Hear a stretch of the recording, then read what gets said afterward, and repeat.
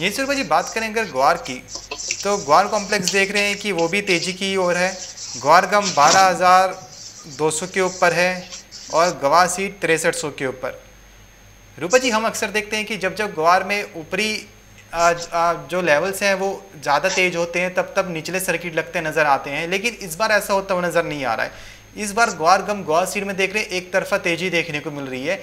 Profit booking इस बार नहीं देखने को मिली। आपको क्या लगता है? क्या प्रॉफिट बुकिंग ड्यू है जो आगे देखने को मिलेगी या फिर जो एक तरफा तेज़ी है, ये भी ऐसी कंटिन्यू बनी रहेगी? देखिए करेक्शन आ सकती है तो बड़ी बात नहीं होगी यहाँ पर क्योंकि लगातार मार्केट सस्टेन है ऊपरी स्तरों पर, लेकिन अब जो ट्रेंड बन चुका है वो पॉजिटिव है। अभी भी यहाँ से अब डिमांड जो है वो पिकअप होती हुई दिखाई दे रही है मुझे एक्सपेक्टेड है कि एक बार तेरह हज़ार के ऊपर मार्केट अगर सस्टेन कर गया तो पंद्रह हज़ार तक आपको मार्केट में तेज़ी देखने को मिल सकती है। अभी करंट वायदा में एक्सपायरी है, बेहद करीब है।